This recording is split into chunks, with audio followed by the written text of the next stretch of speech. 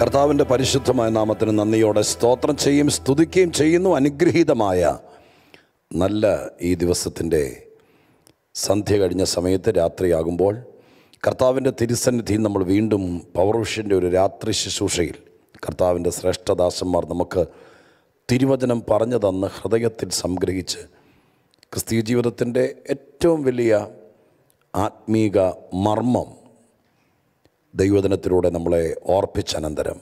ആത്മമാരിയുടെ ഈ അഞ്ചാം രാത്രി. നിങ്ങളുടെ ദൈവത്തിന്റെ വചനത്തിൽ നിന്ന് സംസാരിപ്പാൻ ഒരവസരം കൂടി ദൈവമായ കർത്താവ് തന്നതുകൊണ്ട് മഹത്വത്തിന് യോഗ്യനായ പുകഴ്ചയ്ക്ക് യോഗ്യനായ സർവ ആരാധനയ്ക്കും യോഗ്യനായ നമ്മുടെ രക്ഷിതാവിനെ വണങ്ങി മഹത്വപ്പെടുത്തി നമസ്കരിച്ചുകൊണ്ട്. വിവിധ സ്ഥലങ്ങളിൽ കർത്തൃസന്നിധിയിൽ ദൈവോധന കേൾവിക്കും ഒപ്പം ഈ വർഷത്തെ ഏഴാം മാസം വളരെ പ്രതീക്ഷയോടെ തുടങ്ങിയ ഈ അനുഗ്രഹീത മാസത്തിലെ ഓരോ ശുശ്രൂഷകളും നമ്മളിൽ അരിഞ്ഞ പുൽപ്പുറത്തേക്ക് പെയ്തിറങ്ങുന്ന ചാറൽ മഴ പോലെ എന്ന് വചനത്തിൽ എഴുതിയിരിക്കുന്നത് പോലെ. ദൈവത്തിന്റെ തിരുക്കൃപ വരണ്ടുണങ്ങിയ മണ്ണിന് മഴ എത്രത്തോളം അനുഗ്രഹമാകുമോ അതുപോലെ ആത്മമാരിയുടെ ഒരു വലിയ പെയ്തിറങ്ങൽ പ്രതീക്ഷിച്ചുകൊണ്ട് ഈ ഒരു മാസം പൗരുഷന്റെ ഒരു നല്ല പങ്ക് പ്രേക്ഷകരും ഒപ്പം ശുശ്രൂഷയ്ക്ക് മുമ്പിൽ നിൽക്കുന്നവരും പ്രാർത്ഥന പോരാളികളും.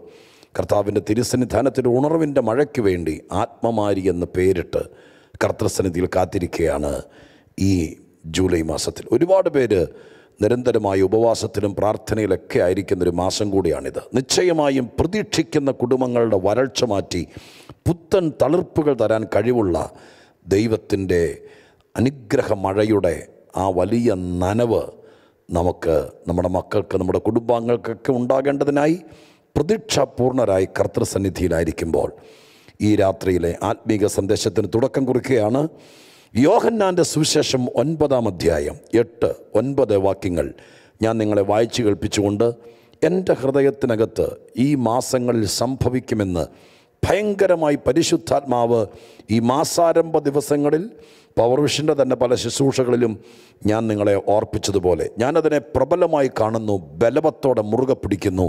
കർത്താവിന്റെ ആത്മാവിന്റെ ഹൃദയത്തിൽ തന്നിരിക്കുന്ന ദൈവവചനത്തിന്റെ ആഴമുള്ള വെളിപ്പാടുകൾ അങ്ങനെ തന്നെ സംഭവിക്കണമെന്നും അത് കണ്ണാൽ കാണണമെന്നും ആഗ്രഹിച്ചുകൊണ്ട് അതിനുതകുന്ന ഒരാത്മീക ചിന്തയ്ക്ക് ഇന്ന് രാത്രി ഞാൻ നിങ്ങളെ ക്ഷണിക്കുകയാണ്. എന്റെ കൂടെ പ്രാർത്ഥനയോടെ ദൈവാശ്രയ ബോധത്തോടെ വചനത്തോടുള്ള ബഹുമാനത്തോടെ കർത്താവിന്റെ തിരുവചനത്തിനായി കാതോർക്കുന്നവർക്കായി ഞാൻ ആ വാക്യങ്ങൾ വായിച്ചുകൊണ്ട് എന്റെ ഹൃദയത്തിലെ ആത്മപ്രേരണ ആ സമ്മർദ്ദത്തിലേക്ക് നിങ്ങളെ കൂടി ആനയിക്കാൻ ഞാൻ കർത്താവിൽ ക്ഷണിക്കുന്നു. ഒൻപതാം അധ്യായം യോഹന്നാന്റെ സുവിശേഷം എട്ട് ഒൻപത് വാക്യങ്ങൾ ഞാൻ വായിക്കുന്നു. അയൽക്കാരും അവനെ മുമ്പേ കണ്ടിരുന്നവരുമായി കണ്ടവരും.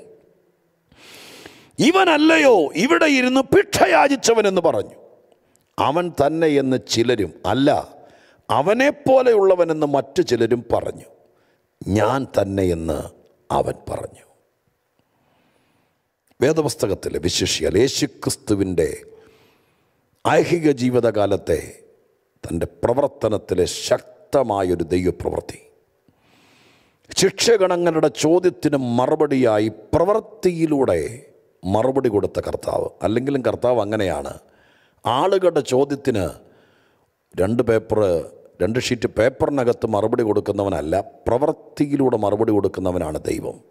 ഞാൻ തുടങ്ങുമ്പോഴേ എന്റെ വായിലേക്ക് ദൈവം ഇട്ടു തരുന്ന വാക്ക് നിങ്ങൾക്ക് തരികയാണ്. ചോദ്യങ്ങൾക്ക് പല വിധത്തിൽ മറുപടി കൊടുക്കാം. നമ്മളൊക്കെ അങ്ങനെ ചെയ്യുന്നുണ്ട്. ആ ഭാഗത്തെ കടക്കാൻ ഞാൻ ആഗ്രഹിക്കുന്നില്ല.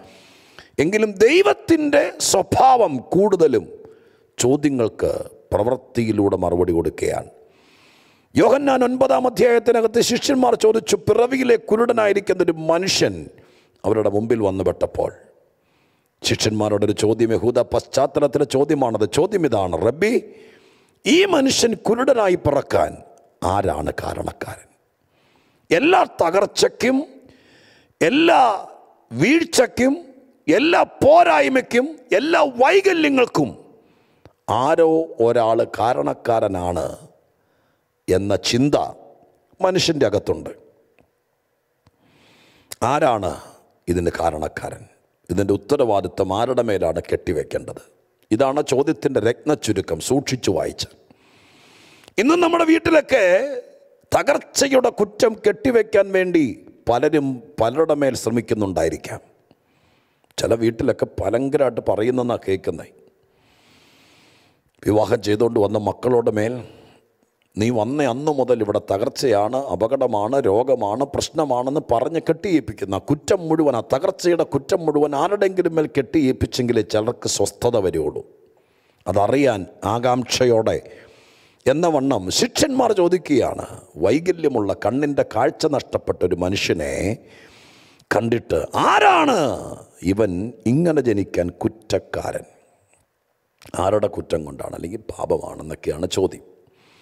അതിന് യേശു വാസ്തവത്തിൽ മറുപടി പറയുകയല്ലായിരുന്നു. പറഞ്ഞു എന്നുള്ള സത്യമാണെങ്കിലും ഒരു മറുപടി പറഞ്ഞങ്ങ് വിടുകയല്ലായിരുന്നു. പ്രവൃത്തിയിലൂടെ തെളിയിക്കുകയായിരുന്നു. മറുപടി ഒറ്റ വാക്കിലിതായിരുന്നു എന്റെ അമ്മയപ്പന്മാരോ ഇവരൊന്നും പാപം ചെയ്തിട്ടല്ല. ദൈവപ്രവൃത്തി അവങ്കൽ വെളിവാകാനാണ് എന്നാണ് ഒറ്റ വാക്കിൽ മറുപടി. എന്നിട്ട് അവരുടെ കൺമുമ്പിൽ ദൈവം ദൈവപ്രവൃത്തി വെളിപ്പെടുത്തുകയാണ്. അവന്റെ കണ്ണിന്റെ കാഴ്ച മടങ്ങിക്കിട്ടുന്നു. അതൊന്നുമല്ല നമ്മുടെ ചിന്താവിഷയം കേട്ടോ. ആത്മമാരിയിൽ അതൊന്നുമല്ല നമ്മുടെ ചിന്താവിഷയം. ഇവിടെ നമ്മൾ വായിച്ച എട്ടോ ഒൻപത് വാക്യങ്ങൾക്കകത്ത് യേശു ഇവനെ ഒന്ന് ശരിക്കും പണിത് പുറത്തു കൊണ്ടുവന്നു. യേശുവിന്റെ പ്രവൃത്തി അഥവാ ദൈവപ്രവൃത്തി ഇവങ്കൽ നടന്നു എന്ന് പറയുന്നതിൽ നിങ്ങൾക്ക് സംശയമില്ലല്ലോ? അതാണ് യേശു പറഞ്ഞത്. എന്തുകൊണ്ടാണ് ഇവനിങ്ങനെ സംഭവിച്ചതെന്ന ചോദ്യത്തിന്റെ മറുപടി യേശുവിന്റെ ഇങ്ങനെയായിരുന്നു. ദൈവപ്രവൃത്തി നടക്കാൻ എന്ന് പറഞ്ഞിട്ട് ദൈവപ്രവൃത്തി അവിടെ നടന്നു. വായിച്ചാൽ കാണാൻ പറ്റും. ദൈവപ്രവൃത്തി നടന്ന ഒരു മനുഷ്യൻ. ആ മനുഷ്യനെ കുറിച്ച് പൊതുജനത്തിന്റെ അഭിപ്രായവും അവന്റെ മറുപടി എല്ലാം കൂടി ചേർന്ന ഒരു മറുപടിയാണ് എട്ട് ഒൻപത് വാക്യങ്ങൾ. ഒന്നോടെ ഞാൻ ആവർത്തിക്കാം. എന്റെ സന്ദേശത്തെ ഒന്ന് പതുക്കെ നിങ്ങളുടെ ഹൃദയത്തിലേക്ക് പൊക്കിക്കൊണ്ടുവരാൻ വേണ്ടി. ഈ ഭാഗത്തിന്റെ രത്നച്ചുരുക്കം ഞാൻ ഇങ്ങനെ കൊണ്ടുവരികയാണ്. ഈ മനുഷ്യന്റെ മേലൊരു ദൈവപ്രവർത്തി നടന്നു. ദൈവപ്രവൃത്തി. അത് തന്നെ യേശുവിന്റെ വാക്ക്. മൂന്നാം വാക്യത്തിൽ ദൈവപ്രവൃത്തി അവങ്കൽ വെളിവാകേണ്ടതിനത്രേ. എന്ന വാക്കിനെ ഞാൻ മുറുകെ പിടിച്ചുകൊണ്ട് പറയുന്നു ഈ മനുഷ്യനിൽ ഒരു ദൈവപ്രവൃത്തി നടന്നു. സ്വത്രം പറഞ്ഞുകൊണ്ട് നിങ്ങൾ ആ വാക്യത്തെ ഉറ്റുനോക്കി ഈ സന്ദേശം ദൈവത്തിന്റെതെന്ന് വിശ്വസിച്ചുകൊണ്ട് മുറുകെ പിടിച്ചോ. ഏഴാം മാസത്തിൽ ആത്മമാരി എന്ന അനുഗ്രഹീത ശുശ്രൂഷ പവർ വിഷം നിങ്ങൾക്ക് വേണ്ടി കവണയിൽ നിന്ന് കറിച്ചു തെറിച്ചു പോകുന്ന കല്ല് പോലെ കർത്തൃദാസന്മാരുടെ അധരത്തിൽ നിന്ന് ഒരുക്കപ്പെട്ട ദൂതുകൾ നിങ്ങളുടെ വീടിനെ ലക്ഷ്യമാക്കി പാഞ്ഞു വരുമ്പോൾ നിങ്ങൾ വിശ്വസിച്ചു ഒരു ദൈവപ്രവൃത്തി നിങ്ങളുടെ വീട്ടിൽ നടക്കും. ഒരു ദൈവപ്രവൃത്തി നിങ്ങളുടെ ശരീരത്തിൽ നടക്കും. ഒരു ദൈവപ്രവൃത്തി നിങ്ങളുടെ തലമുറയിൽ നടക്കും. നടക്കണം. അതിനാണല്ലോ രാപ്പകലന്യ ദൈവത്തിന്റെ സന്നിധാനത്തിൽ വിലപ്പെട്ട സമയവും പണവും ചെലവഴിച്ച് നിങ്ങൾ ഓരോരുത്തരും തരുന്ന സ്തോത്രകാഴ്ചയും ഹൃദയംഗമായ സംഭാവനകളും സുവിശേഷത്തിന്റെ വ്യാപനത്തിനും ആയിരക്കണക്കിന് കുടുംബങ്ങളുടെ ഉദ്ധാരണത്തിനും ദൈവാത്മ പ്രേരണയിൽ കൈത്താങ്ങലായി ലോകത്തിന്റെ അങ്ങേയറ്റം മുതൽ ഇങ്ങേയറ്റം വരെയുള്ള സമസ്ത ജനങ്ങളുടെ നിർലോഭമായ സുവിശേഷ കൂട്ടായ്മ കൊണ്ട് പവർവിഷൻ പോലത്തെ ഇത്ര ശക്തമായ ആത്മീക ശുശ്രൂഷകൾ സ്വത്രം നിർലോഭം തുടർമാനമായി ദൈവത്തിന്റെ സന്നിധിയിൽ തുടരുന്നതിന്റെ രഹസ്യം ദൈവപ്രവർത്തി നടക്കണം. ദൈവപ്രവർത്തി നടക്കണം. നിങ്ങളുടെ വീടുകളിൽ കുടുംബങ്ങളിൽ തലമുറകളിൽ തകർന്നു പോയിടത്ത് ഒരുപാട് ചോദ്യങ്ങൾ ആളുകൾ കൈ ചൂണ്ടി ചോദിച്ചവരുടെ മേൽ ദൈവപ്രവർത്തി നടക്കണം. ദൈവപ്രവർത്തി നടക്കണം. പറഞ്ഞേ അതരം തുറന്ന് പറഞ്ഞേ ഈ മാസം ഏഴാം മാസം ഞങ്ങളുടെ വീട്ടിൽ ദൈവപ്രവർത്തി നടക്കണം. ഞങ്ങളുടെ ചെറുക്കന്റെ മേൽ ദൈവപ്രവർത്തി നടക്കണം. എന്റെ മേൽ ദൈവപ്രവർത്തി നടക്കണം. എന്റെ മോൾക്ക് വേണ്ടി ദൈവപ്രവർത്തി നടക്കണം. ബലഹീനമായി അപ്പുറത്തെ മുറിയിൽ കട്ടിൽ കിടക്കുന്ന എന്റെ അച്ചാച്ചന്റെ മേൽ ദൈവപ്രവർത്തി നടക്കണം. ദൈവപ്രവർത്തി നടക്കണം. ആയിരക്കണക്കിന് രൂപ ആസ്പത്രി കൊടുത്തിട്ടും പരിഹാരമൊന്നും വേണ്ടുമണ്ണമില്ലാതെ മാറി മാറി ഭാരം ഹൃദയത്തിൽ പേറി രോഗം ശരീരത്തിൽ പേറി കുടുംബത്തിന് വല്ലാത്ത നൊമ്പരങ്ങൾ സമ്മാനിച്ചല്ലോ എന്നുള്ള വൃണിത ദുഃഖത്തോടുകൂടെ കട്ടിലിൽ ചാരിയോ കസേരയിൽ ഇരുന്നോ ദൈവസന്നിധിയിൽ വചനം കേൾക്കുന്ന പ്രിയപ്പെട്ടവരോട് പരിശുദ്ധാത്മാവിന്റെ പ്രേരണയിൽ ഞാൻ ഇവിടെ നിന്ന് എന്റെ ആരോഗ്യവും എന്റെ ശബ്ദം മുഴുവനെടുത്ത് ഉറക്ക പറയുന്നു. നിങ്ങളെ നിർബന്ധിച്ച് പറയുന്നു. നിങ്ങൾ നിങ്ങളുടെ അധരം തുറന്ന് നിങ്ങളുടെ മുറിക്കകത്തിരുന്നോട് പറയണം. എന്റെ മേൽ ദൈവപ്രവർത്തി നടക്കണം. ദൈവപ്രവർത്തി നടക്കണം. ദൈവപ്രവർത്തി നടക്കണം. വീണ്ടും പറഞ്ഞു സംശയിക്കേണ്ട. ദൈവപ്രവർത്തി നടക്കണം. ഏഴാമത്തെ മാസം ദൈവപ്രവർത്തി നടക്കണം. ദൈവപ്രവർത്തി നടക്കണം. ഏത് വിഷയത്തിലാണെങ്കിലും ദൈവപ്രവർത്തി നടക്കണം. പതിനായിരം പ്രാവശ്യം ഇന്ന് രാത്രി ഉറങ്ങുന്നതിനേക്കാൾ മുമ്പ് പറഞ്ഞിട്ട് കിടക്കാമെങ്കിൽ നിങ്ങൾക്ക് പറ്റുമെങ്കിൽ ചെയ്യണം. ഈ പ്രസംഗം കഴിയുമ്പോൾ ഒത്തിരി നിരാശപ്പെട്ട് ഇന്ന് നിങ്ങളുടെ മക്കൾ ആരെങ്കിലും നിങ്ങളെ ഫോൺ ചെയ്തായിരുന്നെങ്കിൽ മടുത്തു വയ്യമ്മേ തിരിച്ചു പോരട്ടെ അമ്മ എന്നൊക്കെ ചോദിച്ച് ചെയ്തായിരുന്നെങ്കിൽ നിങ്ങൾ ഈ ശുശ്രൂഷ കഴിയുമ്പോൾ നിങ്ങളുടെ മോനെ വിളിച്ച് നിങ്ങളുടെ മോളെ വിളിച്ചിട്ട് നിങ്ങളൊരു ഒരു വാട്സാപ്പ് കോളെങ്കിലും വിളിച്ചില്ലെങ്കിൽ ഒരു മെസ്സേജ് എങ്കിലും വോയിസ് മെസ്സേജ് എങ്കിലും ഇടണം. മോനെ പോരരുത് മോളെ പോരരുത്. നിന്നിൽ ദൈവപ്രവർത്തി നടക്കേണ്ട സമയമായി ദൈവപ്രവർത്തി നടന്നാൽ നീ അനുഭവിക്കുന്ന വിഷയങ്ങളൊക്കെ പരിഹരിക്കപ്പെടും. അമ്മ പ്രാർത്ഥിക്കാം അപ്പൻ പ്രാർത്ഥിക്കാം. ഈ മാസം നിന്റെ വിഷയത്തിൽ ദൈവപ്രവർത്തി നടക്കും. പലവട്ടം വിവാഹം ചെയ്ത് അയച്ചിട്ട് ഭർത്തൃഗ്രഹത്തിൽ തീയിൽ ചവിട്ടി നിൽക്കുന്ന പോലത്തെ ഭാരം കൊണ്ട് മടുത്തു അമ്മേ ഞാൻ എന്താ ചെയ്യണ്ടേ ഓഫീസിൽ നിന്ന് തിരിച്ച് വീട്ടിലേക്ക് പോകണമെന്നില്ലെന്നും പറഞ്ഞ് നൊമ്പരപ്പെട്ട് വിളിക്കുമ്പോൾ ഒരു ചാൻസോടെ ആ കൊച്ചിനോട് പറ ഈ മാസോടെ നീ പിടിച്ചു നിൽക്ക്. ഒൻപതാം അധ്യായത്തിന്റെ മൂന്നാം വാക്യം ഉള്ള ബൈബിളിന്റെ ആ ബൈബിളിനകത്ത് അടിവരയിടാൻ പറ. നിങ്ങളുടെ ബൈബിളിൽ അടിവരയിട്ടിട്ട് കൈവച്ച് പറ. ഞങ്ങളുടെ കുടുംബത്തിൽ എന്റെ കണ്ണുനീരിന്റെ പുറകിലെ വിഷയത്തിൽ ഞങ്ങളുടെ കുടുംബത്തെ മ്ലാനതയിലാക്കിയ വിഷയത്തിൽ എന്റെ ദൈവത്തിന്റെ പ്രവൃത്തി നടക്കണമെന്ന് ആത്മാവിൽ പറയാൻ തയ്യാറാകുക ദൈവപ്രവൃത്തി. ദൈവപ്രവൃത്തി നടന്ന ഒരു മനുഷ്യനെ ആളുകൾ കണ്ടപ്പോൾ ആകപ്പാടെ കൺഫ്യൂഷനായി അങ്ങനെയല്ലേ പറയണ്ടേ? ആകപ്പാടെ അവർക്ക് സംശയമായി. ദൈവപ്രവൃത്തി നടന്നവൻ മൊത്തത്തിൽ മാറും. ആളെ മാറ്റിക്കളയും ദൈവപ്രവൃത്തി. ആളെ മാറ്റുന്ന ഒരുപാട് വിഷയങ്ങൾ വേദപുസ്തകത്തിനകത്തുണ്ട്. ഞാനൊരു അഞ്ചെണ്ണം പറയാനാണ് നിൽക്കുന്നത്. ക്ലോക്കും സമയമൊക്കെ അനുവദിച്ചാൽ നമുക്ക് പറയാം. ഇതല്ലെങ്കിൽ പിന്നെ ആത്മമാരിയിൽ വേറെ സന്ദർഭങ്ങൾ കിട്ടുവാണെങ്കിൽ നമുക്ക് അത് ഫില്ല് ചെയ്യാം. എന്താണെങ്കിലും പറയുന്നിടത്തോളം കാര്യങ്ങൾ ദൂതായി തന്നെ പറയാൻ വേണ്ടി ഞാൻ കർത്താവിന്റെ കൃപയിൽ ഇങ്ങനെ കടിച്ചു തൂങ്ങിക്കിടക്കുക. സ്തോത്രം. അഞ്ച് പോയിന്റ് പറയണമെന്നൊന്നും എനിക്ക് ഷഠനല്ല അങ്ങനത്തെ മത്സരമൊന്നും എന്റെ മനസ്സിനകത്തില്ല. പറയുന്നിടത്തോളം കാലം സ്വന്തം കാര്യം പരിശുദ്ധാത്മാവിൽ നിങ്ങൾക്കുള്ള ദൂതായിരിക്കണം. നിങ്ങളത് വിശ്വസിക്കണം. നിങ്ങളത് മുറുകെ പിടിക്കണം. പറഞ്ഞുകൊണ്ടിരിക്കുമ്പോൾ തന്നെ സ്തോത്രം സിരകളിൽ കൂടെ രക്തം പായുന്നത് പോലെ നിങ്ങളുടെ ജീവിതത്തിലേക്ക് ദൈവമായ കർത്താവ് ഈ ഉറവകളെ തുറന്ന് ഈ വാക്കുകളിൽ വ്യാപരിക്കുന്ന ദൈവത്തിന്റെ ശക്തി അയക്കണമെന്നോർത്ത് ഞാൻ വലിച്ചു നീട്ടുകയല്ല. ദൈവപ്രവൃത്തി നടക്കണം. ദൈവപ്രവൃത്തി നടന്നാൽ ആളുകൾക്ക് മനസ്സിലായില്ല. ഇവരിൽ ദൈവപ്രവർത്തി നടന്നു. ദൈവപ്രവർത്തി നടന്നു കഴിഞ്ഞപ്പോൾ ദൈവപ്രവർത്തി നടക്കാൻ വേണ്ടി ഇച്ചിരിയൊക്കെ മെനക്കെറണം ഇച്ചിരി ബുദ്ധിയെ ചില നേരം പറഞ്ഞങ്ങ് മാറ്റി നിർത്തണം. ബുദ്ധി നമ്മുടെ കൂടെ വന്നാൽ ദൈവപ്രവർത്തി നടക്കാൻ സാധ്യത കുറവാണ് എന്നും പറഞ്ഞുകൊണ്ട് ബുദ്ധിയില്ലാത്തവനായി ജീവിക്കണം എന്നല്ല എന്റെ അർത്ഥം. ഇവിടെ നോക്കി ഇവിടെ ഞാൻ അങ്ങനെ പറഞ്ഞപ്പോൾ ഒരു തെളിവ് വരാം. അവിടെ തെളിയിച്ചു പോകണമല്ലോ ഇവന്റെ കണ്ണ് കാണാത്ത പ്രശ്നം.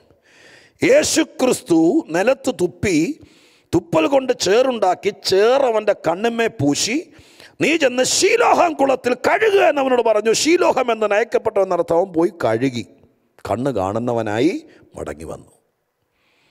ഇത്രയും കാര്യം ഞാനൊരു വാക്ക് ഉപയോഗിക്കാൻ എന്നെ തെറ്റിദ്ധരിക്കരുത്. ബുദ്ധിയുള്ളവനെ കൊണ്ട് ചെയ്യാൻ പറ്റില്ല. അതിനർത്ഥം ഈ പുള്ളിക്ക് ബുദ്ധിയില്ലെന്നല്ല കുറച്ച് നേരത്തേക്ക് ബുദ്ധിയെ ഈ മനുഷ്യനങ്ങ് മാറ്റിവെച്ചു. കണ്ണ് കാണാൻ വയ്യാത്ത അന്ധനായ മനുഷ്യൻ. ആ മനുഷ്യന്റെ കണ്ണിലേക്ക് ചേറ് വാരി പൂശു അതും എങ്ങനത്തെ ചേറാ? തുപ്പിക്കൊടച്ച ചേറ്. എന്നിട്ട് ശീലോഹം കുളത്തിൽ പോയി കഴുകാൻ പറഞ്ഞാൽ തപ്പിത്തടഞ്ഞു പോയി കഴുകിയിട്ട് തിരിച്ചു വരാമെന്ന് പറയുന്നത് നമ്മുടെ ബുദ്ധി അനുവദിക്കുന്നതല്ല. എന്റെ പൊന്ന് സാറേ ഞാൻ കണ്ണില്ലാത്തവനായി ഇത്രയും കാലം ജീവിച്ചു. ബാക്കി അവിടെ ജീവിച്ചോളാം. വെറുതെ നമ്മളിൽ എലിയിൽ മരുന്ന് പരീക്ഷിക്കുന്ന പോലെ പരീക്ഷിക്കാതെ എന്ന് പറഞ്ഞേനെ ബുദ്ധി ഇങ്ങനെ പൊങ്ങി നിന്നിരുന്നെങ്കിൽ. ഞാനൊരു ദൂത് പറയട്ടെ.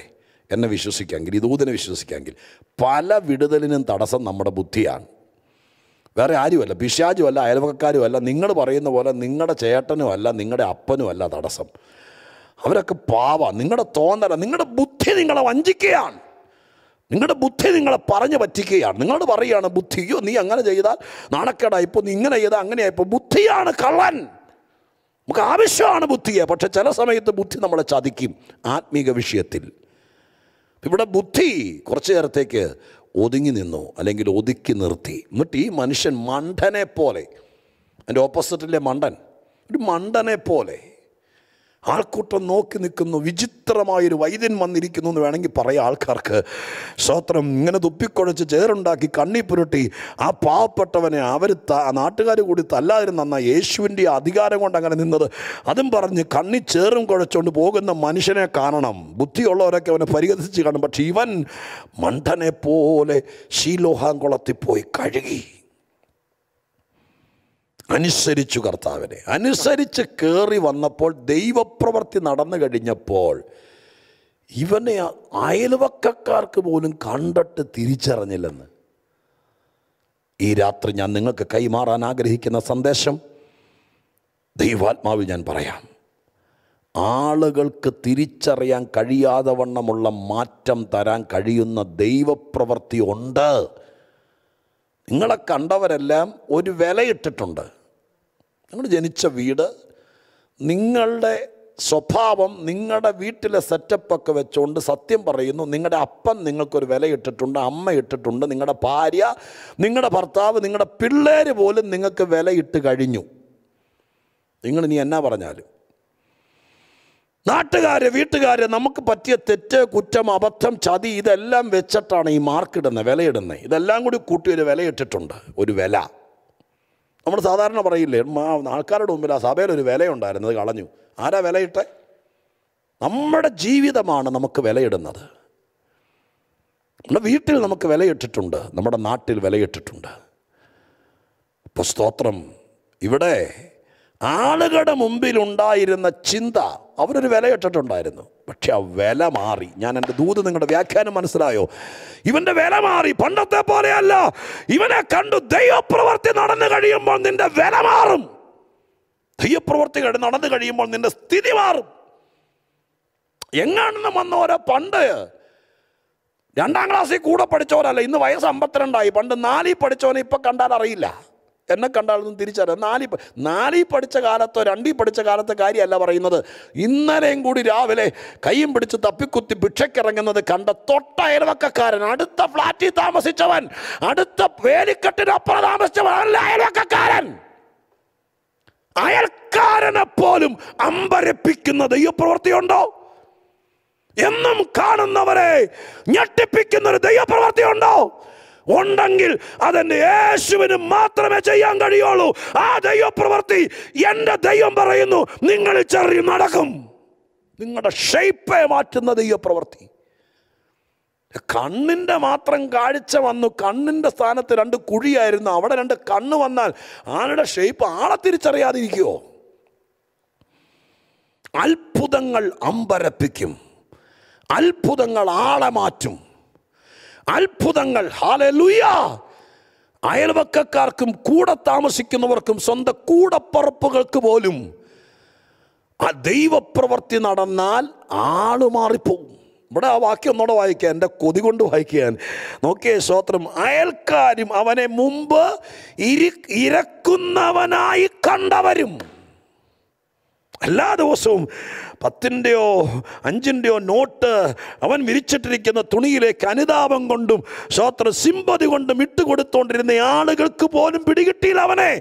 അവർ ചിലർ പറയുന്നത് ഇവനല്ലയോ? ഇവിടെ ഇരുന്ന് ഭിക്ഷയാചിച്ചവനെന്ന് പറഞ്ഞു. അങ്ങനെ പറഞ്ഞായിരുന്നെങ്കിൽ അതൊരു ആശ്ചര്യം തോന്നിയല്ല അടുത്തതാണ് അവൻ തന്നെ എന്ന് ചിലരും അല്ല അവനെപ്പോലുള്ളവനെന്ന് മറ്റു ചിലരും പറഞ്ഞു. അവിടെയാണ് ആ സംശയം കിടക്കുന്നത്.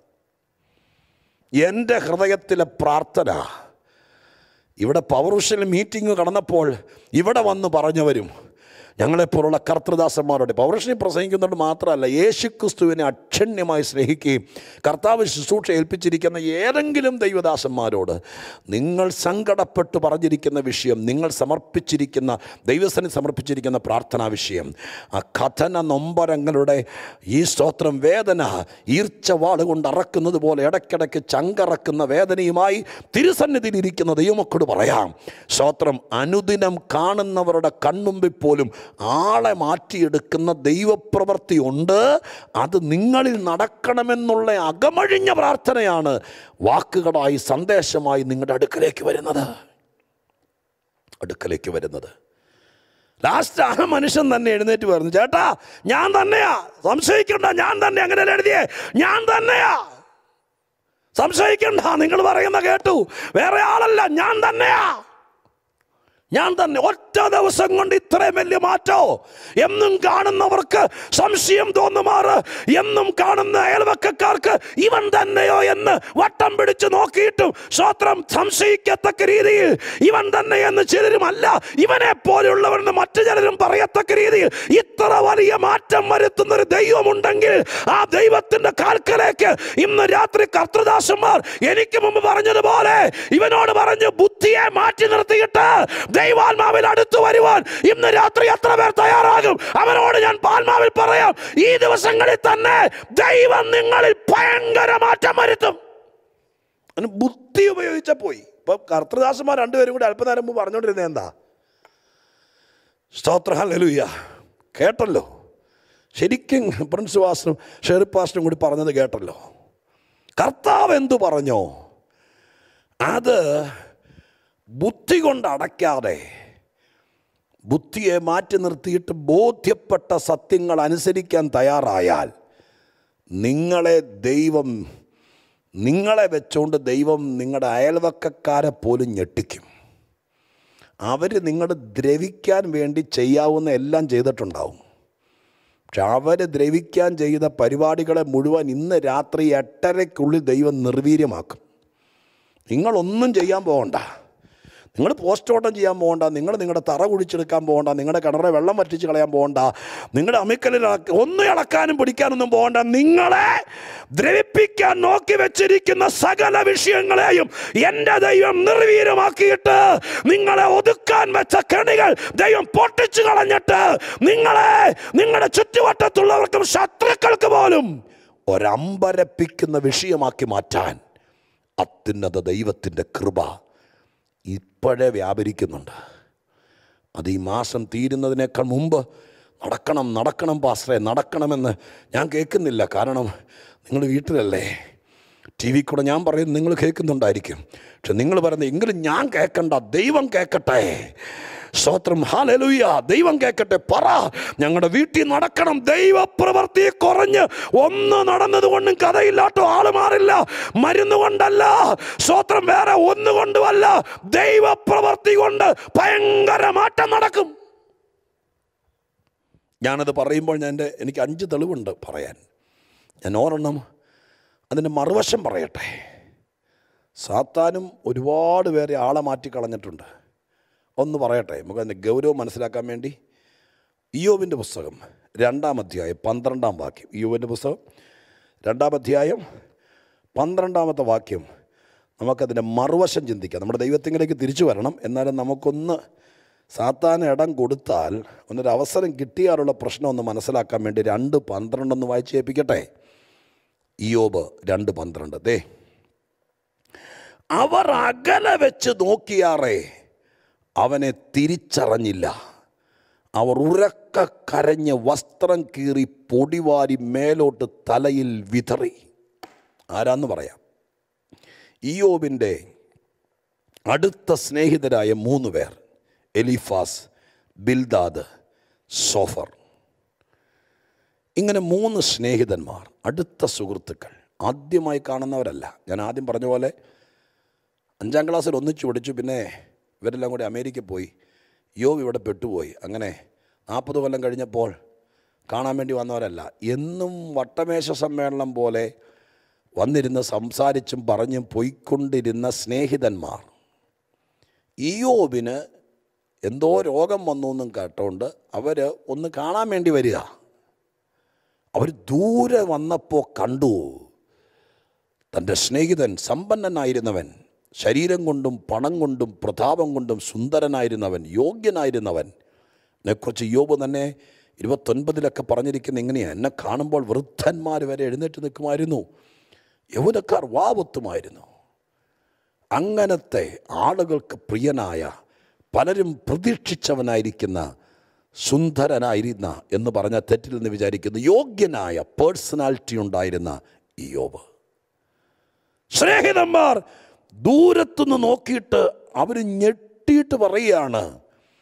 അവനെ തിരിച്ചറിഞ്ഞില്ല. അകലെ നിന്ന് നോക്കിയാറേ. സ്നേഹിതന്മാർക്ക് യോബിനെ തിരിച്ചറിഞ്ഞില്ല. തിരിച്ചറിയാൻ പറ്റാത്തതിന്റെ ആ വേദന കൊണ്ട് ഒരു വസ്ത്രം കീറി. ഇവനാണ് അയ്യോ നമ്മുടെ സ്നേഹിതനാണ് യോബ് കഴിഞ്ഞ ആഴ്ച കൂടെ നമ്മൾ വന്ന് കണ്ടിട്ട് പോലും ഒറ്റ ദിവസം കൊണ്ടാ സംഭവിച്ചേ. എന്താ സംഭവിച്ചേ?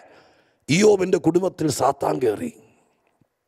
വേലി വിളിച്ചകത്തു കയറി. പ്രിയപ്പെട്ടവരെ ഞാൻ മറ്റത് പറയും. സ്തോത്രം. ദൈവപ്രവൃത്തി കൊണ്ട് ആളെ മാറ്റുന്ന ദൈവിക പദ്ധതിയെക്കുറിച്ച് ഞാൻ പറയാം. എന്നാൽ മറുവശം നമ്മൾ പറയണം. അറിയണം. ഈ ഓബിന്റെ വീട്ടിൽ പിശാജ് കയറി എന്റെ ശരീരത്തിൽ രോഗം കയറി രോഗം കയറിയതോടുകൂടെ ആളെ തിരിച്ചറിയാൻ പറ്റാത്ത വിധത്തിലായി. ഇന്ന് രാത്രി ഞാൻ അത് പറയാനല്ല നിൽക്കുന്നത്. പക്ഷേ ഞാൻ നിങ്ങളെ ഒന്ന് തോണ്ടി ഉണർത്തുക. സ്തോത്രം മാരകമായ രോഗങ്ങൾ വന്ന് സാത്താനെ പിശാദിനൊക്കെ വിട്. മാരകമായ രോഗങ്ങൾ വന്ന്. എത്ര യോഗ്യനായിരുന്നു. നിങ്ങൾ കണ്ടിട്ടില്ലേ?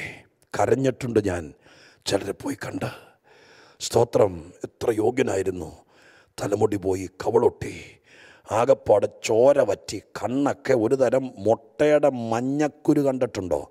സ്തോത്രം എന്നതുപോലെ കണ്ണൊക്കെ മുട്ടയുടെ മഞ്ഞക്കരി പോലെയായി.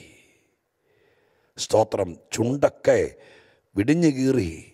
വല്ലാത്തൊരു പരുവത്തിൽ നീര് വെച്ചിരിക്കുമ്പോൾ നമ്മൾ പറയും ആളല്ലാതെ പോയി. പണ്ടത്തെ ആളല്ലാതെ പോയി. വിരൂപമാക്കപ്പെട്ടു.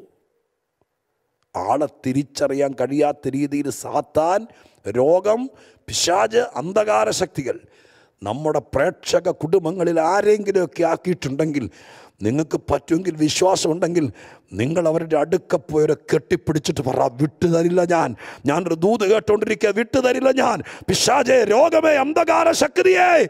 സ്വത്ര എന്നെ ഇതുപോലെ വിരൂപമാക്കി നീ. പക്ഷെ ഞാൻ വിട്ടുതരില്ല ദൈവത്തിന്റെ പ്രവൃത്തി എന്നിൽ വെളിപ്പെട്ടാൽ ഇന്നിരിക്കുന്ന സ്ഥിതിയിൽ നിന്ന് എന്നെ വീണ്ടും മാറ്റി മറ്റുള്ളവർക്ക് തിരിച്ചറിയാൻ കഴിയാത്ത രീതിയിൽ എന്റെ ദൈവം എന്നെ മാറ്റിയാൽ മതി. രോഗവും പിശാചും അന്ധകാര ശക്തിയും കൂടി എന്നെ എന്റെ കുഞ്ഞിനെ എന്റെ കുടുംബത്തെ മാറ്റരുത്. അതിന് ഞങ്ങൾ സമ്മതിക്കില്ലെന്ന് ഇന്ന് രാത്രി യേശുവിന്റെ നാമത്തിൽ ആത്മാവിൽ പറയാൻ കഴിയുന്നവർ അവിടെ നിന്ന് ഉറക്കപ്പറ സമ്മതിക്കില്ല ഞങ്ങൾ. യോബിന്റെ കുടുംബത്തിലേക്ക് ഇരച്ചു ദുഷ്ടപ്രവൃത്തികൾ. ഞാൻ ആത്മാവിൽ പറയാം ഇന്ന് സുന്ദരനെ പേടിക്കരുത് പേടിക്കരുത് പ്രാർത്ഥിക്കാൻ പറയുക പേടിപ്പിക്കാൻ പറയുകയല്ല പ്രാർത്ഥിക്കാൻ പറയുക. എല്ലാ സുന്ദരന്മാരും സുന്ദരിമാരും യോഗ്യതയുള്ളവരും നല്ല വൈകുന്നേരം ജോലിക്കൊക്കെ പോയിട്ട് വന്നിട്ട് ഷട്ടൊക്കെ ഊരിയിട്ട് ടി വിയുടെ മുമ്പിൽ നല്ല ചൂടൻ ചായം കുടിച്ചുകൊണ്ട് ഇരിക്കുവാണെങ്കിൽ കേൾക്കണം ഇത് പറയണം ഞെളിയരുത് ഇത് പറയണം. ഇത്ര മിടുക്കനാണെങ്കിലും പറയണം. ഒരു കൊച്ചു രോഗം മതി ചെറിയ മുഴ മതി. വിരൂപനാക്കപ്പെടും. അയ്യോ സംഭവിക്കരുത് സംഭവിക്കരുത്. സ്തോത്രം അല്ലേ ലൂയ ഇവിടുത്തെ ആസ്പത്രിയിലെ പ്രധാനപ്പെട്ട ചികിത്സകൾ ആരംഭിച്ചാൽ നമ്മൾ ആൾ മാറിപ്പോവും ആൾ മാറിപ്പോവും. സത്യമല്ലേ? ഞാൻ പറഞ്ഞ സത്യമല്ലേ? മാറിപ്പോകരുത്. നിങ്ങളുടെ പ്രിയപ്പെട്ടവർ ആരെങ്കിലും അടുത്തിരിക്കുന്നെങ്കിൽ കയ്യെ പിടിച്ച് തമാശ പറയാൻ നിൽക്കുകയല്ല ഞാൻ. സ്തോത്രം വേദപുസ്തകത്തിൽ വചനം പറയുക. ഇങ്ങനെയുള്ള ദൂതുകൾ വരുമ്പോൾ കയറി പിടിച്ച് പ്രാർത്ഥിച്ചോളണം. മക്കളാരും അടുത്തില്ലെങ്കിൽ ദൂരത്താണെങ്കിൽ പേര് പറഞ്ഞ് പ്രാർത്ഥിച്ചോളണം. കയ്യെ പിടിച്ച് പ്രാർത്ഥിക്ക. വിട്ടുതരില്ല ഞാൻ രൂപം മാറ്റാൻ. കണ്ടാൽ തിരിച്ചറിയാത്ത രീതിയിൽ ബന്ധുക്കളും ചാർച്ചക്കാരും വരുമ്പോൾ ഒന്നും മിണ്ടാനില്ലാതെ ഈ സ്നേഹിതന്മാര് വന്ന് നിന്നതുപോലെ സ്വത്രം അകലെ വെച്ച് നോക്കിയപ്പോൾ അവനെ തിരിച്ചറിഞ്ഞില്ല. തിരിച്ചറിയാത്ത നിലവാരത്തിൽ എന്റെ പ്രിയപ്പെട്ടവൻ എന്റെ കുടുംബത്തിലുള്ളവനെ മാറ്റിക്കളയാൻ നോക്കുന്ന ഇരുട്ടിന്റെ വ്യാപാരത്തെ ദുഷ്ടന്റെ പോരാട്ടത്തെ ഇന്ന് രാത്രി ഞാൻ ആത്മാവിൽ ഇവിടെ നിന്ന് വചനം അയക്കുമ്പോൾ യേശുവിന് നാമത്തിൽ പറ അങ്ങനെ തിരിച്ചറിയാതെ വണ്ണം രൂപഭേദം വരുത്താൻ ഞങ്ങൾ സമ്മതിക്കൂല. സമ്മതിക്കൂല. പഴുത്ത് മുറിഞ്ഞ് വേദനപ്പെട്ട് വലിയ ചികിത്സകൾക്ക് വിധേയപ്പെട്ട് ദയ്യോവനെ നോക്ക് നിങ്ങൾ. അകക്കണ്ണ് തുറന്ന് വേദപുസ്തകത്തെ പിക്ചറൈസ് ചെയ്യാൻ കഴിവുള്ളവരെന്ന കേക്ക് നിങ്ങൾ കാണാം. ആരായിരുന്നു? എന്റെ പൊന്നുമോനെ മുപ്പത്തിരണ്ടുകാരാ. ഞാൻ ആത്മാവിൽ പറയാം നിന്നേക്കാൾ എന്നാ സുന്ദരനായിരുന്നു ഈ യോമെന്നറിയോ ഒറ്റ ദിവസം കൊണ്ട് തിരിച്ചറിയാൻ പറ്റാത്ത പോലെ ആയിപ്പോയി. ഉണ്ട് ഈ ശരീരവും തൊക്കും ഒക്കെ ഉണ്ടല്ലോ നിന്റെ കൃതാവും മീശയൊക്കെ കണ്ടാൽ സ്വോത്രം വെട്ടിയെടുത്ത് ഒട്ടിച്ചു വെക്കാൻ തോന്നും. പക്ഷേ ഇപ്പം ഇതോടെ ചേർത്ത് പറയാം ഞാൻ ഒറ്റ ദിവസം മതി. വിരൂപമായി പോവും തിരിച്ചറിയാതെ പോവും. അതുകൊണ്ട് സംഭവിക്കരുത്. യേശുക്രിസ്തുവിന്റെ നാമത്തിൽ ഇന്ന് ഞാൻ ആത്മാവിൽ ആത്മമാരിയുടെ അഞ്ചാം രാത്രി ദൈവപ്രവൃത്തി കൊണ്ട് ആളെ മാറ്റിയ ചിലരെ നിങ്ങളുടെ മുമ്പിലേക്ക് കൊണ്ടുവരാൻ വേണ്ടി പോവാ. പരിശുദ്ധാത്മാവ് അതിനേക്കാൾ മുമ്പ് നമ്മളെ ഇടയ്ക്ക് കയറി ഓർപ്പിക്കുക സാത്താൻ അവസരം കൊടുക്കരുതേ. ജീവിതമൊട്ട് ചൂതാടരുതേ. ഒറ്റ ദിവസം കൊണ്ട് തിരിച്ചറിയാത്ത രീതിയിൽ ദുഷ്ടശക്തികൾ ചതച്ചു കളഞ്ഞു. മൂന്ന് ഒരാൾക്കൊക്കെ പറ്റാം. ഒരാൾ പറഞ്ഞാൽ എനിക്ക് തിരിച്ചറിഞ്ഞു. അത് എന്റെ കണ്ണ് അവിടെ ആയിരുന്നു. അത് കണ്ടില്ലേ എന്ന് പറയാം. പക്ഷെ മൂന്നാളുകൾക്ക് ഒരുപോലെ തിരിച്ചറിയാൻ കഴിയാതെ വണ്ണം മാറിപ്പോയെങ്കിൽ എന്നാ മാറ്റമായിരുന്നു സാത്താൻ വരുത്തിയേ? മാറിപ്പോകരുത്. നമുക്ക് വിഷയം ദൈവപ്രവർത്തിയാ. ഒന്നും പോകരുത്. കർത്താവിനോട് പ്രാർത്ഥിക്കുക ദൈവമേ. കൂടെ കൂടെ പനി വരുന്നു. പേടിപ്പിക്കുകയല്ല രൂപം മാറ്റുന്ന ഒരു പനിയും വരരുത്. നമ്മുടെ ഷെയ്പ്പ് കളയുന്ന ഒരു മുഴയും ശരീരത്തിൽ വരരുത്. നമ്മുടെ ഇപ്പം കണ്ടോ? ഈ വാക്യമൊക്കെ കാണണം. അല്ല നമുക്ക് കൺവെൻഷന് പോകുമ്പോൾ എക്സ്റേ ഫിലിമിനകത്ത് അടിച്ചു ചേർന്ന വയപ്പിക്ക് മാത്രം കണ്ടങ്ങ് അത് തൂക്കി വെച്ചാൽ മാത്രം പോരെ. ഇതോടെ കാണണം. നമ്മളെ മാറ്റിക്കളയുന്ന ഒരുവിധ പ്രശ്നവും വരരുത് വരരുത് വരരുത് വരരുത്. അതിനു വേണ്ടിയൊക്കെ പ്രാർത്ഥിച്ചോളണം. ഒറ്റ ദിവസം കൊണ്ട് തിരിച്ചറിയാൻ പറ്റാതെ പോയി. തിരിച്ചറിഞ്ഞില്ല അവനെ തിരിച്ചറിഞ്ഞില്ല. ഇത് സാത്താൻ ചെയ്തിട്ട് ഒരു വീട്ടിൽ കയറിയപ്പോൾ തിരിച്ചറിയാൻ പറ്റാതെ മറ്റേത് നമ്മൾ കുറിവാക്യം വായിച്ചത് ദൈവപ്രവർത്തി നടന്നപ്പോൾ അയൽവക്കക്കാർക്കും എന്നും കണ്ടവർക്കും തിരിച്ചറിയാൻ കഴിയാതെ പോയി. നമ്മുടെ പ്രഭാഷണ വിഷയം ദൈവപ്രവർത്തി നടന്നാൽ തിരിച്ചറിയാൻ കഴിയാത്ത നിലവാരത്തിൽ ദൈവത്തിന്റെ ആത്മാവ് ശക്തമായി പ്രവർത്തിക്കും. ശക്തമായി പ്രവർത്തിക്കും. ഞാൻ ഒരു തെളിവോടെ തരാൻ ഇന്ന് സമയം കിട്ടാൻ ന്യായമുള്ളൂ. അറിയാവുന്നതാ എങ്കിലും ദൈവപ്രവൃത്തി ഇവിടെ ബുദ്ധിയെ മാറ്റിവെച്ച് ദൈവം പറയുന്നത് അതുപോലെ അനുസരിച്ചപ്പോൾ അവനിൽ ദൈവപ്രവൃത്തി നടന്നു. ദൈവപ്രവൃത്തി നടന്നതോടുകൂടെ അവനെ എന്നും കാണുന്നവർക്ക് പോലും തിരിച്ചറിയാൻ പറ്റാത്ത രീതിയിൽ ദൈവനെ മാറ്റിക്കളഞ്ഞു. അങ്ങനെ മാറ്റി മാറ്റം വരുത്തേണ്ട ചിലരെങ്കിലും നിങ്ങളുടെ വീട്ടിലില്ലേ? ഉണ്ട്. മാറ്റം വരുത്തും. ശരീര ആത്മദേഹികൾക്കും സ്റ്റാറ്റസിനും സ്റ്റാൻഡേർഡിനും പേഴ്സണാലിറ്റിക്കും മുഖച്ഛായയ്ക്കും ആളത്തത്തിനുമൊക്കെ മാറ്റം വരുത്താൻ കഴിയുന്നതായി ആത്മീകം എന്ന് പറയുന്നത്. അതിനെ അതിന്റേതായ നിലവാരത്തിൽ കണ്ടാൽ മാറ്റം വരും. ഒരു തെളിവോടെ തരാൻ ഞാൻ നിർബന്ധിതനാകുന്നു. അത് കഴിഞ്ഞിട്ട് ശ്രോത്രം സമയത്തിന്റെ പരിമിതി ഉള്ളതിന്റെ പേരിൽ ഇനിയും ദൈവം അവസരം തന്നാൽ അന്ന് നമുക്ക് ബാക്കി കാര്യങ്ങൾ ചിന്തിക്കാമെന്ന് വിചാരിക്കുകയും ചെയ്യുന്നു. ഉൽപ്പത്തി പുസ്തകം നാൽപ്പത്തിരണ്ടാം അധ്യായത്തിൽ ഞാൻ വായിക്കാൻ പോകുന്ന വാക്യം നിങ്ങൾക്കെല്ലാവർക്കും പരിചിതമാണെന്ന് എനിക്കറിയാം. പക്ഷേ എന്റെ സന്ദേശത്തോട് കൂട്ടിവെക്കാൻ പറ്റുന്നതുകൊണ്ട് ഞാൻ ആ വാക്യം കൂടി വായിക്കാൻ ആഗ്രഹിക്കുക. നാൽപ്പത്തിരണ്ടാം അധ്യായത്തിന്റെ എട്ടാം വാക്യം വായിക്കുന്നത് ഇങ്ങനെയാണ്. യോസേപ്പ് സഹോദരന്മാരെ അറിഞ്ഞു.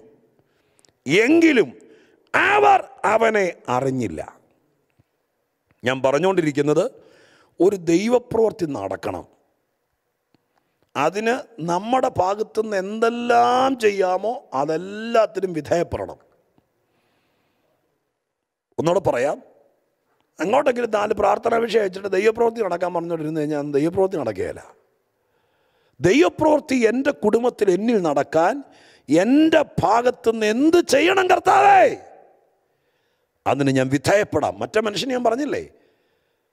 തുപ്പിക്കൊടച്ച ചേറ് കണ്ണി പൂശിയിട്ട് ശിരോങ്കുളത്തിൽ പോകാൻ പറഞ്ഞപ്പോൾ സ്തോത്രം കണ്ടു നിന്നവർ പോലും പറയും ഇവനെപ്പോലുള്ള പൊട്ടന്മാരല്ലാതെ ആരെങ്കിലും ഈ പണിക്ക് വിധേയ ഇത് എന്നാ തരം ചികിത്സയാണ് ഒരുപാട് തരം ചികിത്സയെക്കുറിച്ച് ആയുർവേദം അലോപ്പതി റേക്കിയോ ഏതാണ്ടൊക്കെ കുറേ ഉണ്ട് ഇതിനകത്ത് ഒന്നിലും പെടാത്ത ചികിത്സയല്ല ഈ ചികിത്സ.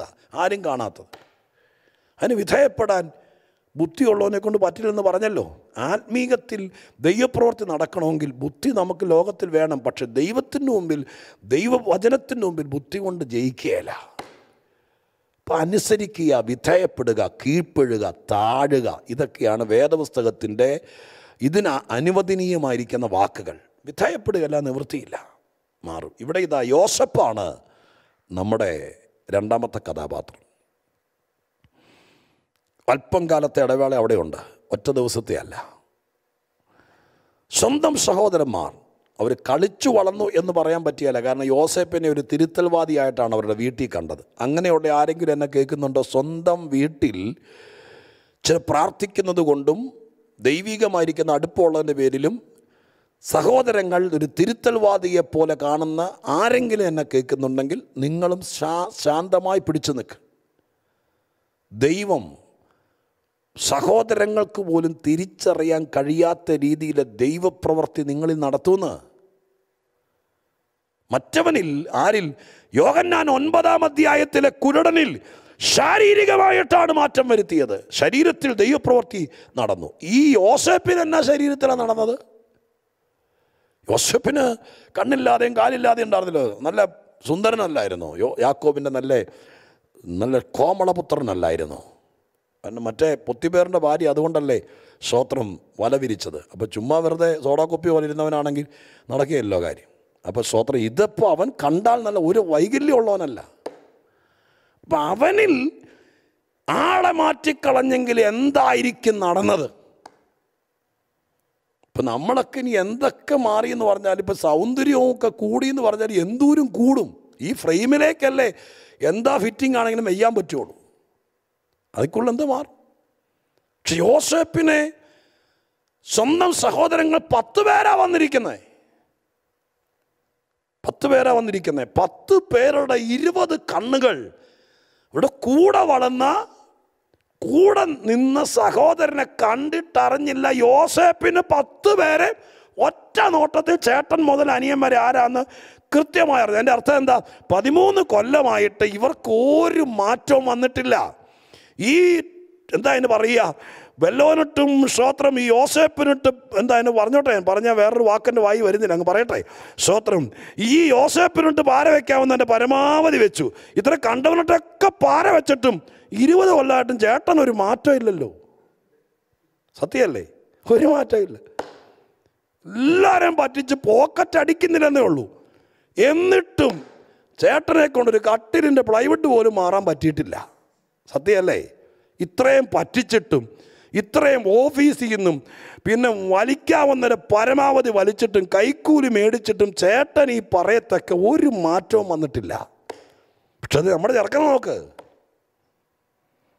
കൈക്കൂലിയില്ല കള്ളത്തരമില്ല ഒന്നുമില്ല.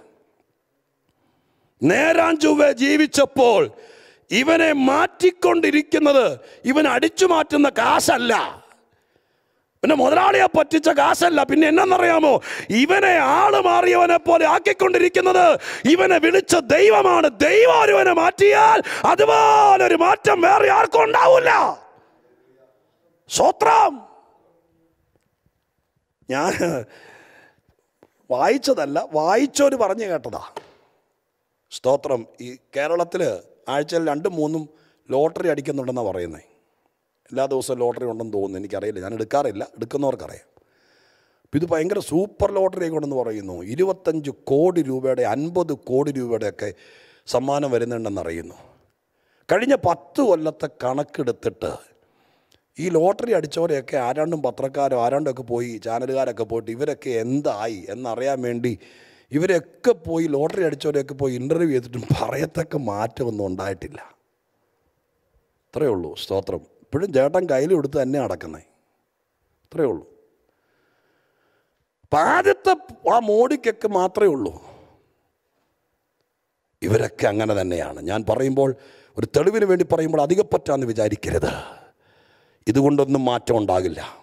ചേട്ടന്മാർ പലരും തന്ത്രങ്ങളുടെ മേൽ തന്ത്രമായിരുന്നു. തന്ത്രങ്ങൾ. ഒരുത്തനെ ഒതുക്കാൻ ചെയ്യാവുന്ന പലതും. അവന്റെ നന്മയും കൂടി മേടിച്ച് അപ്പന്റെ പ്രീതി പിടിച്ചു പറ്റി നേതൃത്വ നിരയെ സ്വത്രം പ്രസാദിപ്പിക്കാൻ വേണ്ടി വെല്ലോന്റെയും കുറ്റം മുഴുവൻ ചെന്ന് പറഞ്ഞ് അവനെക്കുറിച്ച് ഇല്ലാത്തത് മുഴുവൻ എല്ലാം നരച്ച് കലക്കി പറഞ്ഞ് പ്രചരിപ്പിച്ചവർക്ക് പതിമൂന്ന് കൊല്ലം കൊണ്ട് ഒരു മാറ്റവും വന്നിട്ടില്ല. അതുപോലെ തന്നെ യോസേപ്പ് ഓരോരുത്തർ ഇരുത്തി കണ്ടോ? പതിമൂന്ന് വർഷങ്ങൾക്ക് ശേഷം ഓരോരുത്തർ ഇരുത്തിയപ്പോൾ ചേട്ടൻ മുതൽ അനിയം വരെ കൃത്യമായി കാരണം എന്താ? ആർക്കും മാറ്റം വന്നിട്ടില്ല. എന്നാൽ പത്ത് പേരോടത്തോളം അവരുണ്ട് പത്ത് പേരും കൂടെ ഒരുമിച്ച് നോക്കിയപ്പോൾ യോസേപ്പിനെ പിടികിട്ടിയില്ല. കാരണം എന്താ? ഹല്ലേലൂയ. യോസേപ്പിനെ ദൈവം മാറ്റി. ഇന്ന് രാത്രി ഞാൻ പറയാം ആത്മമാരിയുടെ ഞങ്ങളുടെ ഈ മാസത്തിന്റെ ലക്ഷ്യം ഇതാണ്. പവർ വിഷനിൽ നിന്ന് ദൈവാത്മാവ് നിങ്ങളിലേക്ക് പകർന്നു തരുന്ന ദൂതിതാണ് മാറാങ്കിൽ മാറിക്കോ മാനസാന്തരപ്പെടാമെങ്കിൽ മാനസാന്തരപ്പെട്ടോ ദൈവത്തിന്റെ കൽപ്പന അനുസരിക്കാങ്കിൽ അനുസരിച്ചോ. എന്താ പറയുന്നത്? ദൈവം മാറ്റിയാൽ ഇത് ഇതുപോലൊരു മാറ്റം ലോകത്തിൽ ആർക്കും ഉണ്ടാകില്ല. അത്രയ്ക്ക് മാറ്റം. ദൈവപ്രവൃത്തി കൊണ്ടുള്ള മാറ്റം. സ്തോത്രം ചെയ്യുന്നു. ഏറെക്കുറെ മനസ്സിലായി കാണുമെന്ന് വിചാരിക്കുന്നു. ബാക്കിയുള്ള തെളിവുകൾ മറ്റൊരു യോഗത്തിലാകാം. ഇപ്പം ഞാനിവിടെ അവസാനിപ്പിക്കാം.